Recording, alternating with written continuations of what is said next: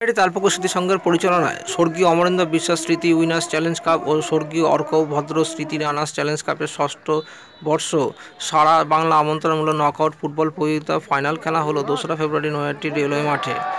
চোদ্দ দিনব্যাপী knockout football প্রতিযোগিতা মোট চোদ্দটি ক্লাব অংশ নেয়। চন্দননগর বয়েজ অ্যাথলেটিক ক্লাবকে তিন এক গোলে পরাজিত করে চ্যাম্পিয়ন হয় Naihati Garifa United Sporting club.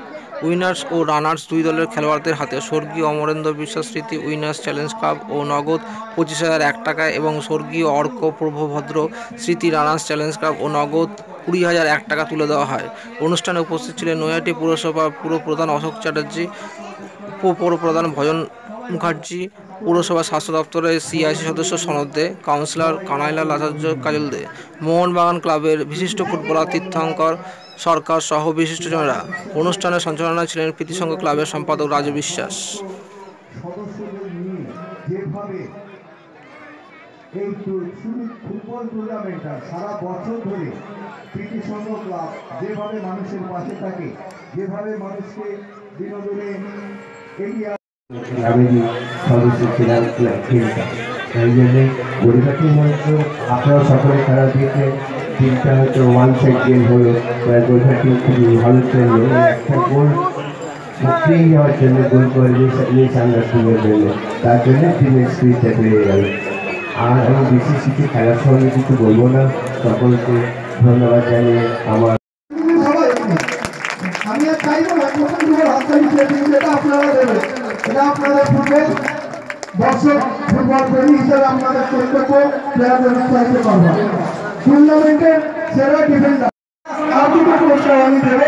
সেটা হচ্ছে আহ, আমরা টুর্নামেন্ট পরিচালনা প্রথম লিগ থেকে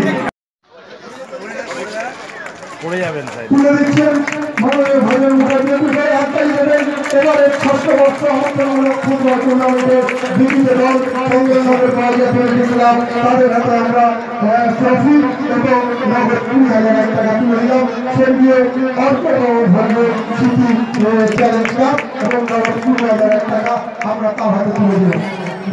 এরপরে এই টুর্নামেন্টের ষষ্ঠ বর্ষ টুর্নামেন্টের স্মৃতি চ্যালেঞ্জ কাপ নগদ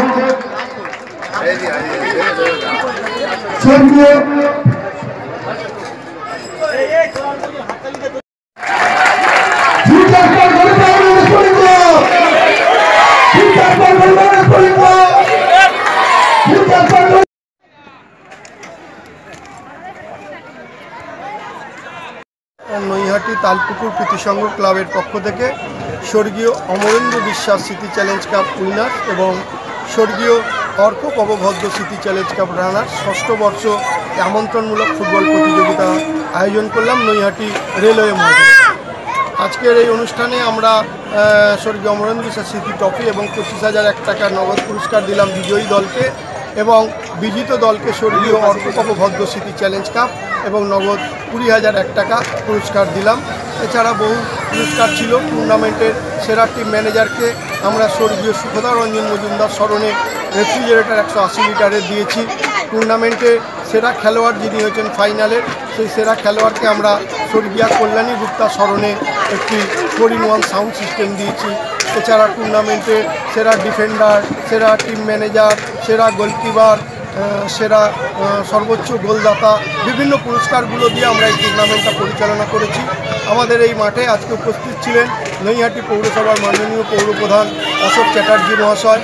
উপস্থিত ছিলেন নৈহাটি পৌরসভার উপপৌরপ্রধান ভজন মুখার্জি মহাশয়। উপস্থিত ছিলেন স্বাস্থ্য দপ্তরের সিআইসি মাননীয় সনদ দে মহাশয় পিডাব্লিউডির সিআইসি মাননীয় মানস পাল মহাশয়, কাউন্সিলর কানাইলাল আচার্য, বেলা বিশ্বাস, কাজল দে, নৈহাটি পৌরসভার দলনেতা শেখর ভৌমিক মহাশয়। ছাড়া বহু বিশিষ্ট মানুষ উপস্থিত ছিলেন।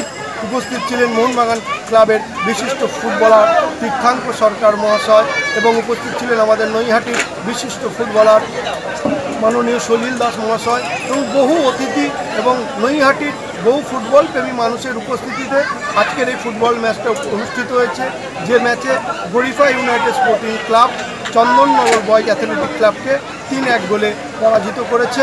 তারা জয়লাভ করেছে। পরপর তিনবার গরিফা ইউনাইটেড স্পোর্টিং ক্লাব তারা এখানে জয়লাভ করল।